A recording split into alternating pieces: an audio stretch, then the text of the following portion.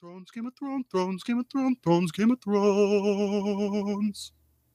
That's my rendition of the opening theme song, which Brendan doesn't know. He doesn't watch the show. But Ga- Game of Thrones season seven has come, and it is gone. It was here too short. It was a fleeting moment.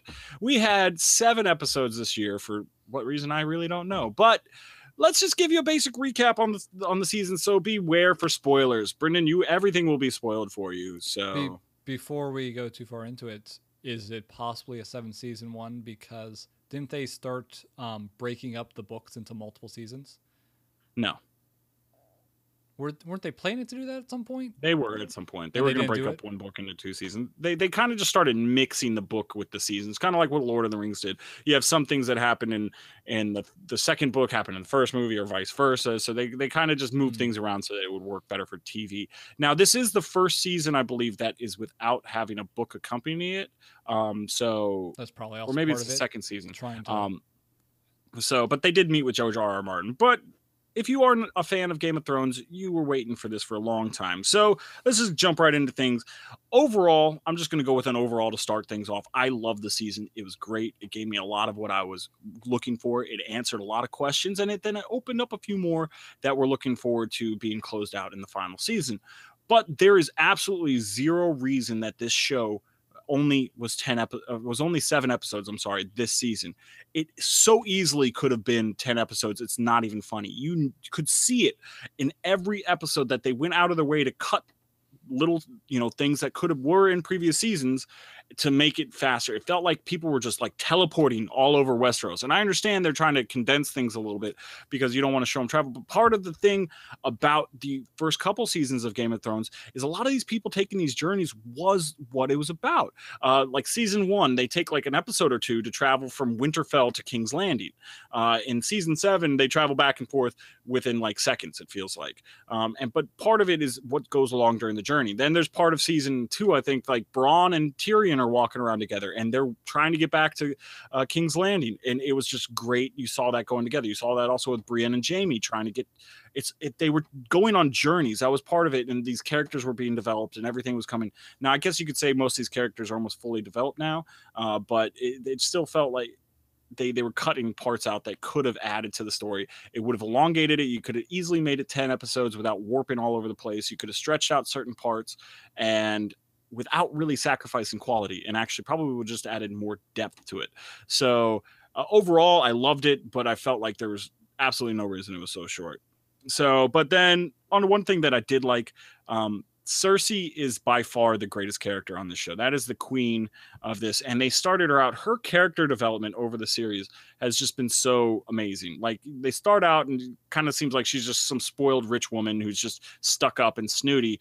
And she develops into this conniving, like foxy, smart, like just crazy, like uh, maniacal person and just grows and grows and grows and grows and grows. And that's one thing that we I love about Game of Thrones is they introduce some of the best villains of all time. When King Joffrey was on the throne, one of the best, most iconic villains of all time, and then they kill him, and you're like, what's going to happen? Oh, we're just going to make an even more iconic villain come up, and then with Ramsay Bolton, and then they kill him, and then they start really showing you the Night King, and they're like, "Oh my God, this guy's even better."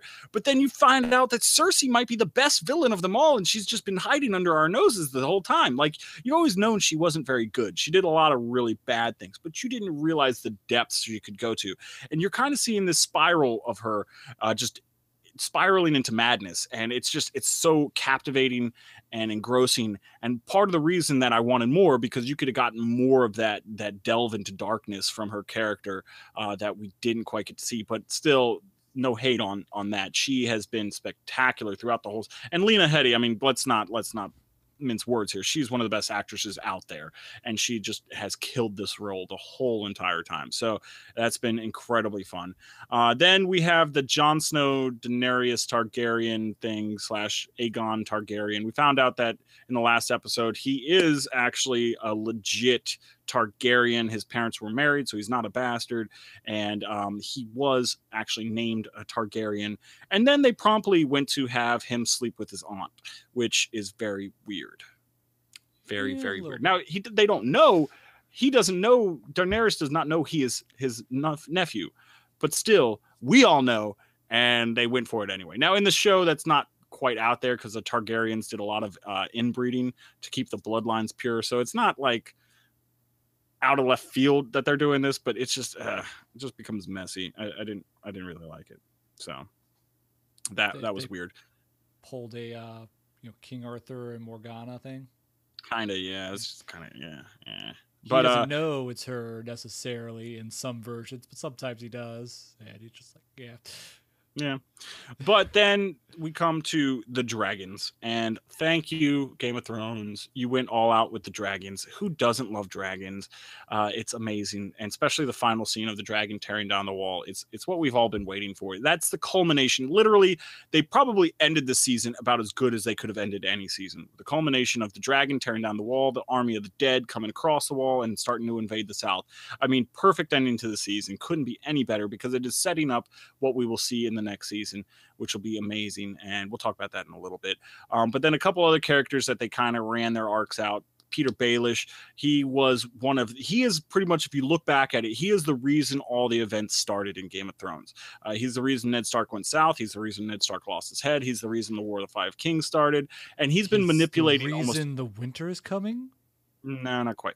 But uh, he's been manipulating everything behind the scenes the whole time. And if you didn't pay attention, you probably don't know how much he has affected everything that has happened in the show so far. And then they killed him off, and they killed him off in probably one of the coolest ways they could kill him off. Uh, very satisfying. Uh, almost this girl Sansa, this girl that he is to almost tutoring to become this this next maniacal person, you know, mastermind. And he was manipulating the heck out of her. You know, he was really did a lot of horrible things to her too and then she kind of just like flips it on shouldn't have taught me so well dude. Now you're dead. And they take him out which was really satisfying.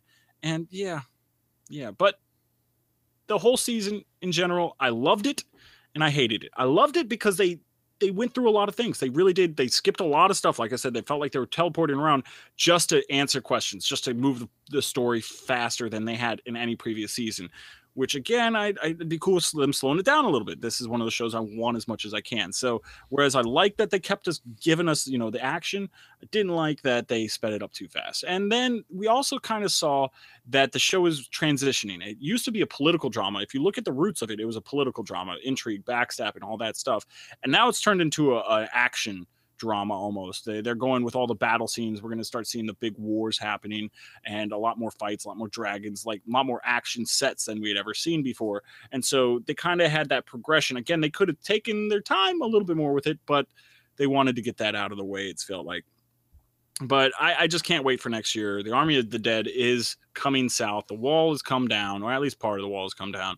And it's it's really going to be interesting. Now I know there's a lot I left out. You could talk about the Jaime Cersei uh, dynamic that was great. Daenerys with Tyrion, oh, so many great scenes there. There's so many things I'm leaving out, but in essence, recap of the season.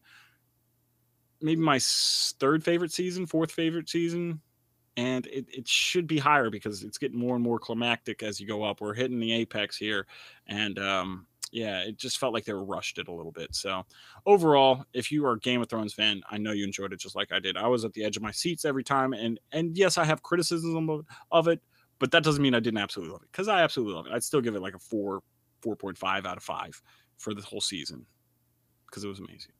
But yeah, but hit me up. Let me know what you think. Did you like it as much as I did? Do you think that them zipping around was better for the plot? Like it actually was good for them to do that, or do you agree with me? It was kind of just speeding things up too fast. But hit us up, let us know. Comments down below, of course, at What's My Face on Twitter, mm, Google Plus and Facebook. Always good ways of getting a hold of us.